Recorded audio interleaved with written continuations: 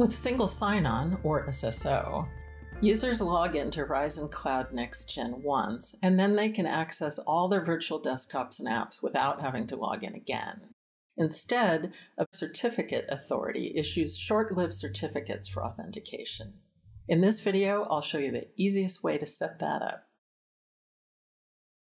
Log into Cloud Services, launch the Workspace ONE service, and manage the Horizon Cloud service.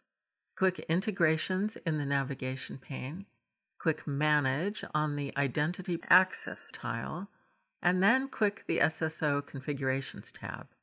Click Add to start the wizard. For the name, you can name it what you like. I'm going to name it after my domain.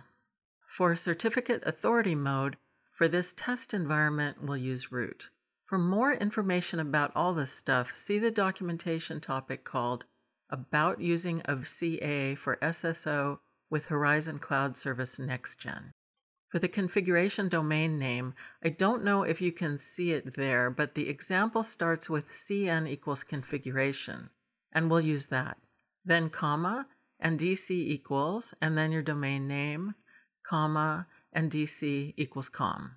Then select a domain that you registered, as described in an earlier video in the series, and click Add.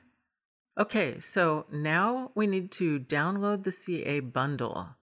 You can either click these three vertical dots and download the bundle to whatever machine you are on and then copy it to your domain controller, or else go into the Horizon Universal Console on your domain controller navigate to this page, and then click the dots to download the bundle. Click the dots and select Download CA Bundle. On the domain controller, which is in your data center, extract all the files from the zip file.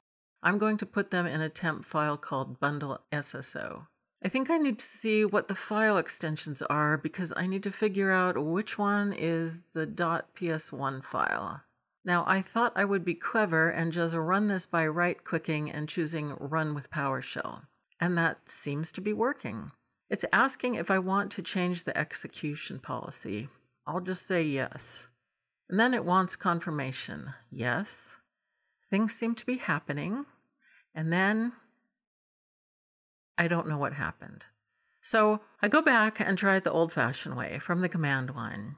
I have to go to the right directory and type in the name of the file, and it asks if I want to publish the CA certificate to AD. Yes. And then stuff happens, and it says the script executed successfully. That's more like it. Now, if I go open the log file, I can see that it ran the certutil ds publish command to publish a root certificate, and it added the cert to the ds store and I see that it published the baseline certificate revocation list and added it to the DS store. And here it published the Delta certificate revocation list and added it to the DS store. And finally, it adds the certificate to the Enterprise NT Auth store. And the computer policy is updated successfully. Now, it might be that the first thing I tried, the right clicking and choosing Run with PowerShell, did work, because when I looked in this log, it also said that some of this stuff was done twice. I don't know. But anyway, this SSO thing is now done.